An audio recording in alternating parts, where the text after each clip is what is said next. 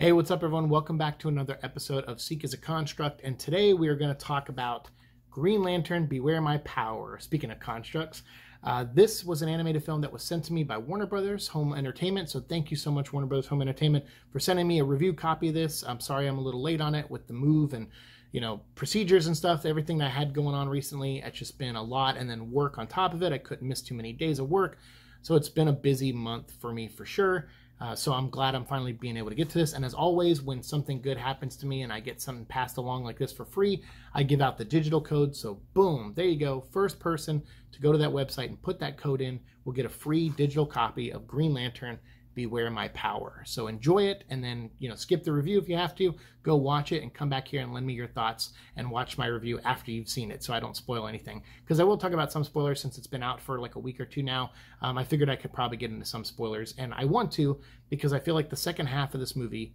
I liked a lot more than the first half. Um, you know, first of all, I want to comment on John Semper, who's the writer of this. For us Venom vlog fans over on my main show, Venom vlog, uh, you know, John Semper wrote the three episode Venom storyline for the Spider Man animated series in the 90s. He's done a lot of great work with Kid and Play, he's done a lot of great animated stuff. I'm a big fan of the guy, absolutely big fan. And, uh, but in this, I feel like the first half of this script was really slow for me, like in a bad way.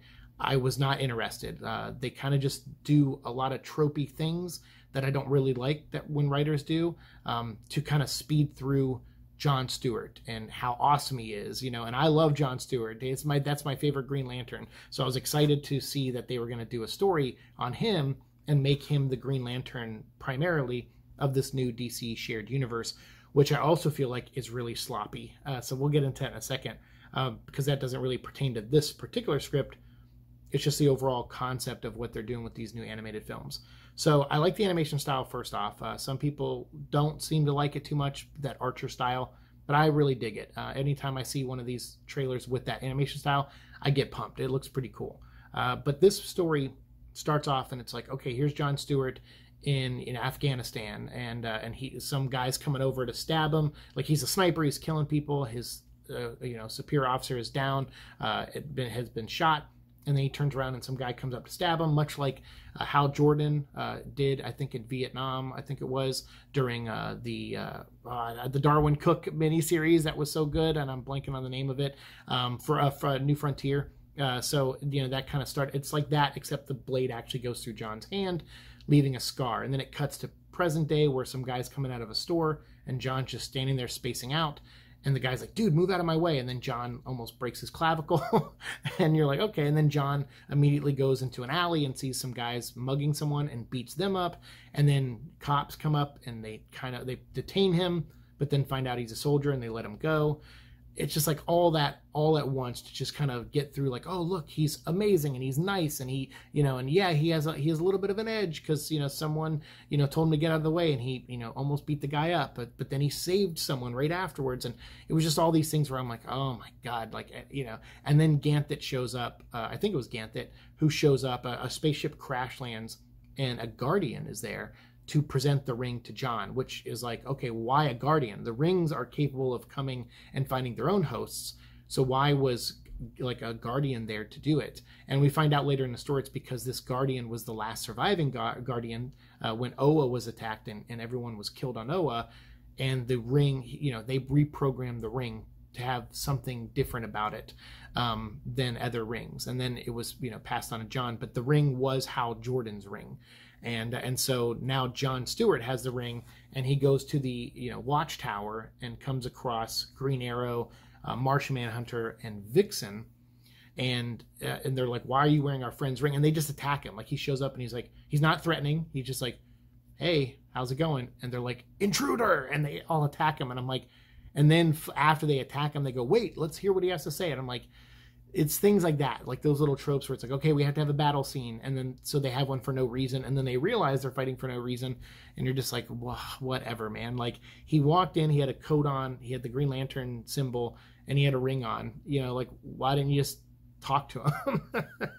uh, but that also brings me, like I said, to the overall shared universe they're trying to do here.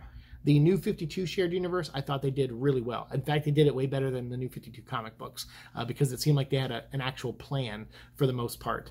Uh, this doesn't seem so because they had the Superman movie, Man of Tomorrow, and then they had the World War II movie with Flash and Wonder Woman in the past, and Flash went back in time but met a different Superman or something, and then came back and tried to recruit the new Superman into a Justice League, and then he turned it down. And then you had the Batman Long Halloween stuff, but in this one, the Justice League is already formed, and they even say it. They say Batman's not around; he's on some mission. Superman is not here either, and neither is Wonder Woman or Flash. So we just have Vixen, Martian, and I'm like, I didn't even know these were members on the team. like when when did all these people come together? I think there was a post credit scene in one of the recent movies with Martian Manhunter maybe and Green Arrow. Um, but I, don't know, whatever. It just it feels discombobulated. I'm like, you know, it it feels like they're just throwing these in there, or they don't want to do.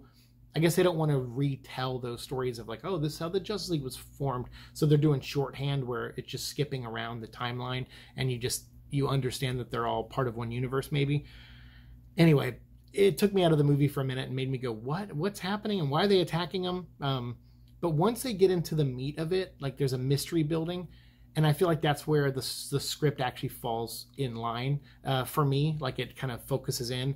Uh, you get this story where John Stewart's trying to figure out why he has Hal Jordan's ring and he's also trying to learn how to use the ring and he's communicating with the ring uh, you know uh, setting up little training exercises so he can use it better uh, but he also wants to get rid of it he's like look let's just find hal jordan and let's give the ring back to him you know that's all i want and so green arrow's like fine i want that too because hal's my friend even though they haven't set up their friendship in this universe at all so it's kind of like I okay. I so you're you're banking on the comic books, which I hate when they do that. They go, well, in the comics are best friends, so we can just say it in one line of dialogue here, and you're just like, uh, uh, I'm not no, I'm not feeling it. Even though they try to give a little emotion to Green Arrow, he's like, I really want to know what happened to my friend. They try to do a little bit of it, but it's just they go through it too quickly. So Green Arrow and John Stewart take a ship. They go out to look for Oa they come across Thanagar and run into Hawkgirl uh, and Rann, and they run into Adam Strange, and so then they bring in those story elements where they, you know, there's a Rann Thanagar war, and someone turned them against each other and and then the, it brings in as you've seen in the trailer which big spoiler the trailer gives away this whole movie pretty much uh, sinestro is involved in this along with lyssa drak you know his right hand sinestro corps lady who reads the book of the dead or whatever book of oa um, in the comic books and then you also have uh, Kanjar and uh, I think a Cordian and a couple other uh, villains. Despero, I think, is in there too. So they just kind of have these villains show up in the third act uh, that you're like, well, if I watched the trailer, I saw those villains already and I knew they were coming. So building the mystery of them being involved felt really silly if you've seen the trailer. so if you went into this blind, I guess you, you know, better for you. But um, but I think most of us probably saw the trailer first and made us want to go see the movie. And then we saw it and we're like, where's Sinestro? Why why are they taking so long to get Sinestro? And then they with Sinestro they kind of um, tra- Transformers Revenge of the Fallen him, uh, kind of what they did with Megatron. They they created a master for him that he serves, and I'm kind of like, eh. Mm. I understand the master is who when they reveal who it is, and I won't spoil that here.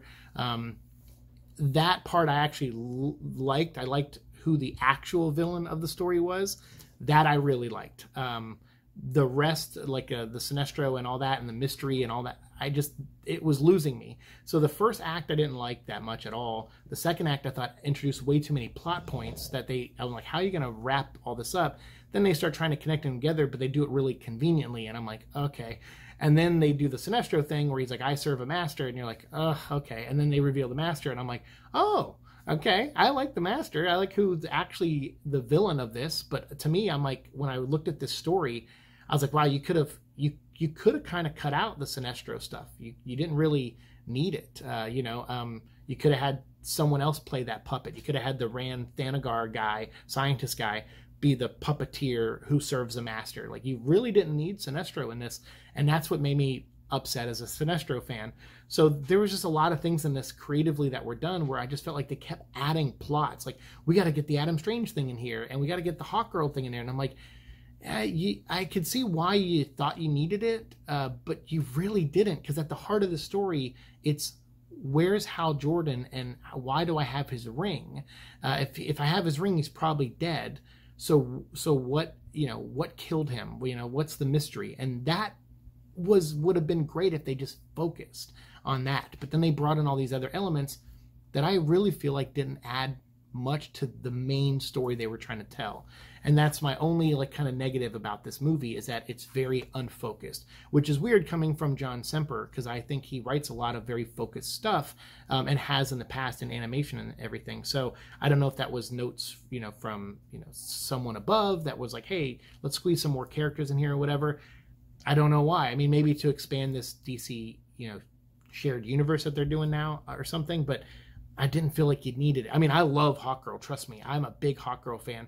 So it sucks, and I'm a big Sinestro fan, and I like Adam Strange a lot. So to see them in this movie and go, yeah, you kind of probably could have cut them out. I mean, that's not good, in my opinion. Uh, so, so, but I still felt like the second half of the movie was way better than the first half because once they revealed who is the villain, and they connect that to everything and they give green arrow this big moment that comes straight out of the comic books too uh, from zero hour. I loved that. I thought that was i was like okay made it all worth it. It honestly made me go back and forget some of the the stuff in it that I, i'm critical of and it made me go well this this arc with green arrow john stewart and you know trying to figure out what happened to hal and who the villain gets revealed like all of that i thought was really, really well done. Just not at the beginning when they introduced John Stewart, but ultimately I liked him as a character. And Aldis Hodge, who played his voice, did pretty good, although he, I feel like, and I'm sure this was intentional, he played him very somber. Like there wasn't a ton of emotion out of John, but I guess that makes sense considering what John's been through in the story and kind of his background as a soldier and what he had to do.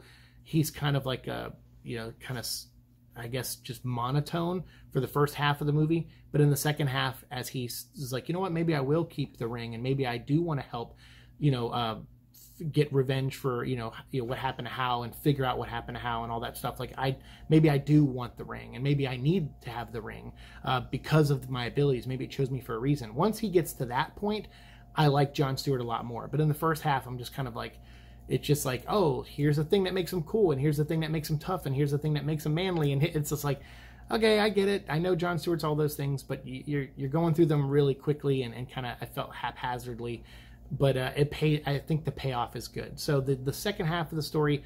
I think brings it home, at least for me as a Green Lantern fan. And I thought they made some choices in it that I think I know for a fact my friend Gene did not like uh, at all. He liked the first half of the movie and didn't like the second half but I am the flip of that. I thought the the reveals and stuff worked, and I think they made sense for the story, and I think they answered all those questions you have at the beginning the best way they could. Um, so we can talk about spoilers down below. So if you're watching this, I try to be spoiler free about who the actual villain is, uh, but we can talk about it down below. So avoid the comment section if you don't want to know uh, who the villain is. But if you do want to know, I'd say go watch this. It's definitely worth a viewing. Um, I thought it was. Uh, I thought overall I, I liked it. Um, I would give it probably a three and a half out of five stars. Uh, that's my final rating on it. Uh, but the first half is the reason why I took a, at least one point away. And then not using Sinestro and, and Hawkgirl and, and even Adam Strange. I mean, Adam Strange and Hawkgirl get good moments in it. But again, I feel like that story, it, it, it prolonged the actual story. And I feel like you could have done more with the friendship between Hal and the Justice League and Green Arrow in particular to kind of make the emotional stuff towards the end more emotional. You could have focused more on that if you cut some of these characters out that really didn't need to be there. So, um, because you could have made it, you know, you could have picked any planets. You didn't have to do Rann and Thanagar. You could have picked any planets to war with each other where you didn't, um, you know take up too much of that time away from the main story. Um, so yeah those are just creative decisions i didn't personally like but overall i thought the ending nailed it and brought it home for me and i thought it gave john a big moment which i really enjoyed and same with green arrow who i'm also a big fan of. So for those reasons alone i think you should watch it and check it out and decide for yourself and if you do have your own opinions about the movie whether you agree with me or disagree let me know down below and we'll continue the conversation down there Thanks so much for watching the show. As always, like, share, subscribe, all that fun stuff. And I'll have more DC animated stuff coming up very, very soon. Thanks so much. Peace.